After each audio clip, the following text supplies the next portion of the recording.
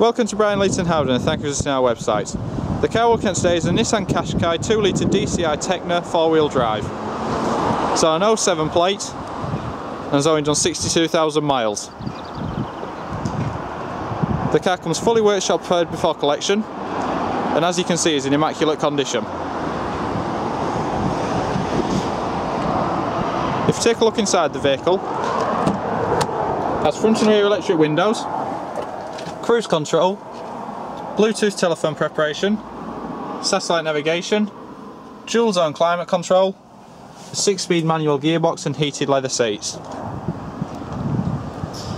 We're located at 2 minutes from junction 37 of the M62 and to arrange test drive please contact our sales team on 01430 430 717. Thank you.